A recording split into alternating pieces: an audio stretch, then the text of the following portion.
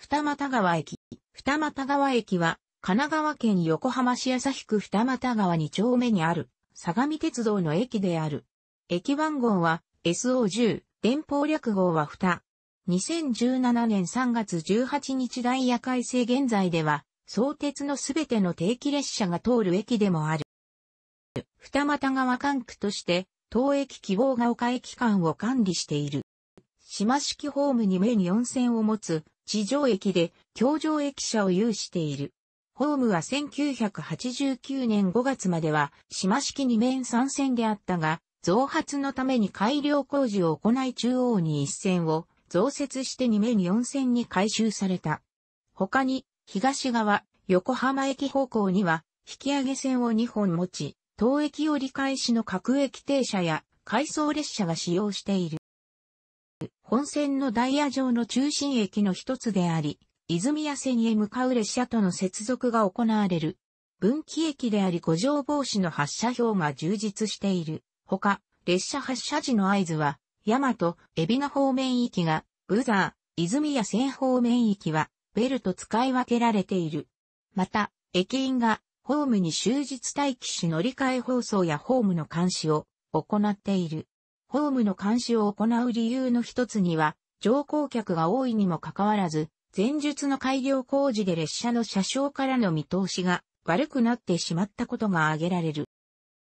改修以前の二面三線時代は、横浜駅からの急行が、本線海老名方面、各駅停車の半数が当駅止め、半数が泉谷線へ直通するという運用で、一番線を本線海老名方面行き列車、急行、各駅停車、2番線、3番線と線路を、共用を、泉谷線直通列車、各駅停車、1番線からも、発車と当駅止めの列車、3番線、2番線と線路を、共用を、泉谷線から及び、当駅始発の横浜行上り列車、各駅停車、4番線からも発車、4番線を、本線海老名方面、急行、各駅停車からの横浜行上り列車がそれぞれ使用していた。一番線では両方面の電車が発着するため、泉谷行が到着する際に五条防止のためのチャイムを明導させていた。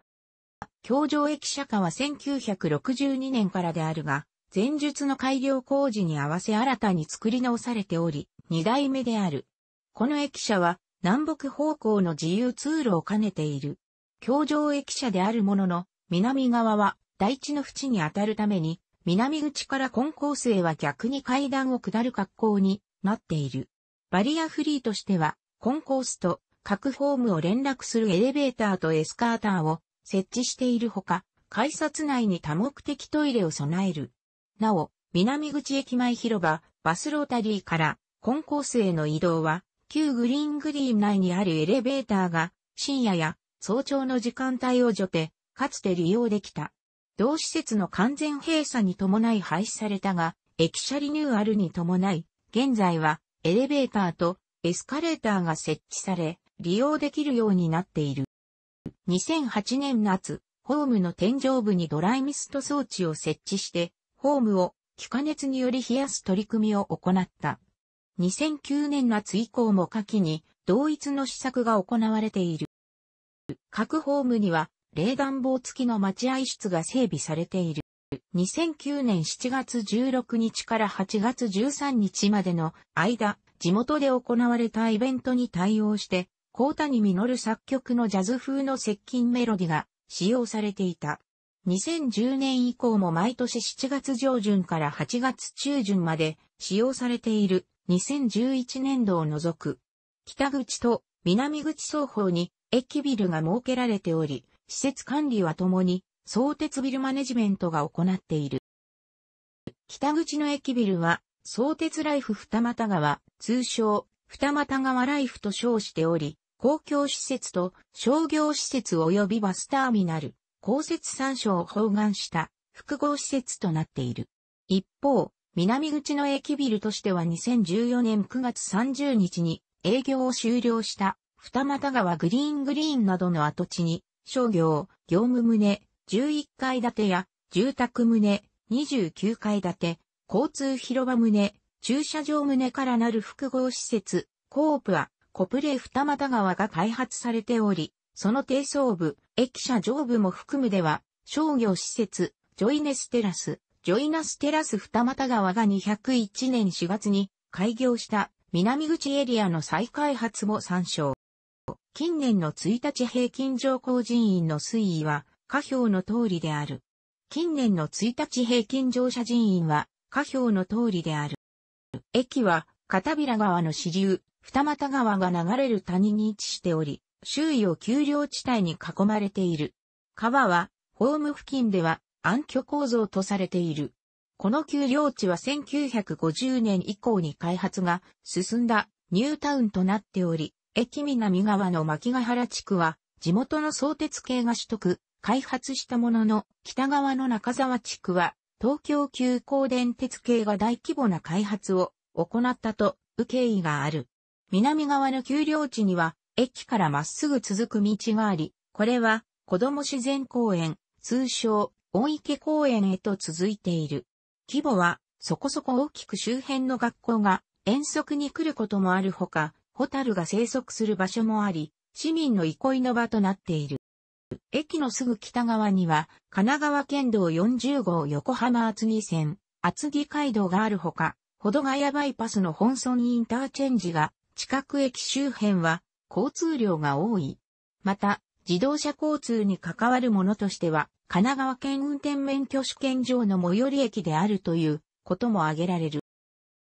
区役所こそ、隣駅の鶴ヶ峰駅が最寄りであるものの、横浜市旭区内で最も栄えている地域であり、ドンキホーテや声優など、複数の大規模小売店があるほか、銀行の支店も多い。なお、二俣川、鶴ヶ峰駅周辺地区は、横浜市における主要な生活拠点、旧副都心に指定されている。南口エリアの再開発本格化に向けて、2013年1月に、二俣川駅南口地区市街地再開発組合が設立された。当初は、相鉄線の JR 相互直通運転開始、当時の計画に合わせて2015年4月までに、南口屋の再開発を完了させる予定であったが、着工時期の延期などにより、最終的な建築工事予定期間は2015年3月から2018年3月までの約3年間となった。本事業に伴い、再開発の対象となる駅ビル、二俣川グリーングリーンは2014年9月30日に営業を終了した。計画では、同ビルなどを解体した跡地に29階建て、高さ約99メートル421個の住宅棟と1階建て、高さ約50メートル、当初計画では15階建ての商業、業務棟からなる高層2棟を建設し、さらに商業、業務棟側は6から11階の高層部をオフィスサービスエリア、6階には公益施設、7.8階にはクリニックモールも入るとするが、低層部や地下、建物の階数では2から5階にあたる。なお、南口駅前広場の地上レベルは3階となるに、商業施設、その周囲に交通広場棟、駐車場棟を設けて複合施設としている。その後、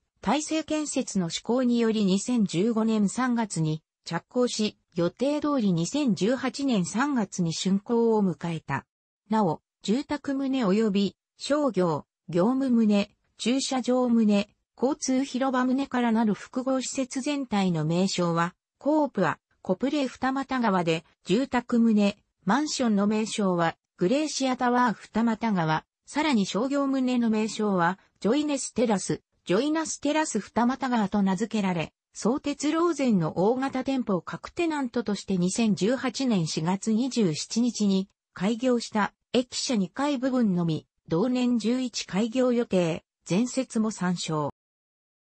また、上記の再開発事業と並行して、当駅の駅舎についても、相鉄グループが進めているデザインブランドアッププロジェクトに基づき、グレーを基調色にレンガ調のデザインを施すなど、大幅にニューアルしており、さらに駅舎の上部には商業施設、駅舎上部に2階分増築し、全体で4階建てを整備し、前日のジョイネステラス二俣川の一部となっている。なお、北口の駅ビル、二俣川ライフ方面とも連絡エスカレーターで接続しており、駅舎上部を通って南口と北口の往来が可能となっている。この他に東駅南口付近を通る計画の都市計画道路、鴨井城飯田線、地下トンネル構造についても、搭載開発事業との一体整備が横浜市道路局により進められている。二俣川ライフ1階に高速バスと路線バスの乗り場が設置されている。バス乗り場入り口への以前の移動方法は同ビル2階からつながる階段のみであったが、2015年3月28日に厚木街道沿いの歩道から乗り場への横断歩道ができ、また同ビルのエレベーターを使用すれば駅構内から乗り場までバリアフリーで移動できるようになった。このほか、羽田空港業高速バスの案内設備として、駅改札内の自動生産機前に発車時刻と運行状況を表示する電光掲示板が設置されている。相鉄バス、羽田空港業高速バスのみ、京浜急行バスも併用により、以下の路線が運行されている路線の詳細は、相鉄バス朝日営業所担当路線を参照。前述の再開発の一環で整備された交通広場、2016年12月17日、共用開始内にバス乗り場が設置されており、相鉄バスにより以下の路線が運行されている路線の詳細は、相鉄バス朝日営業所担当線を参照。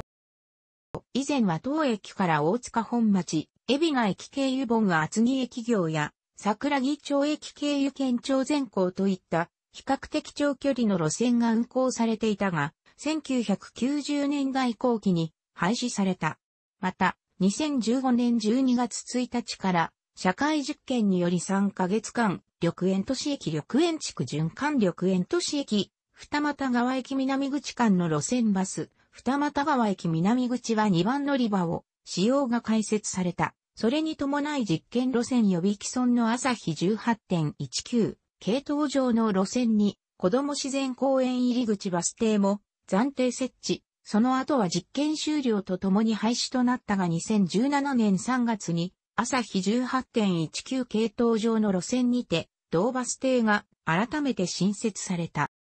駅北口側にある前期北口バスターミナルとは別の位置であり、神奈川県道40号横浜厚木線、厚木街道上の駅寄り車線上に設置されている。二重交通により以下の路線が運行されている。駅所在地の地名、二俣川から、なお、二俣川の地名の由来については、二俣川地名の由来を参照のこと。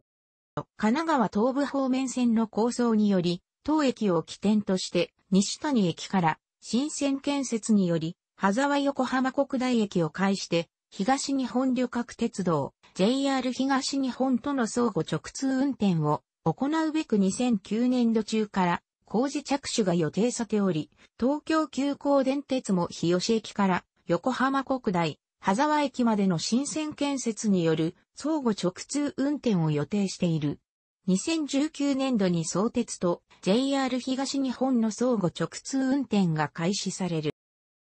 また、泉谷線の延伸計画が当初より存在しており、平塚市までの免許を有しているが、実質的に計画はストップしている。もっとも、慶応義塾大学及び寒川町は、延伸を熱望しており、湘南大駅から慶応義塾大学湘南藤沢キャンパス、陽田地区を経由して、相模線の倉見駅まで延伸する計画がある。さらにかつて小田急線の本厚木駅まで直通運転をしていたことから、厚木市が小田急電鉄及び相模鉄道に対して本厚木駅までの直通運転再開を要請しているが、小田急側が難色を示している。なお、横浜市営地下鉄グリーンラインの延伸構想においても当駅を通過する計画がある。戦後には当駅から原町電、玄町田駅までを結ぶ計画もあったが断念している。当駅鶴ヶ峰駅間には1960年まで二俣下川駅が存在していた。楽しくご覧になりましたら購読と良いです。クリックしてください。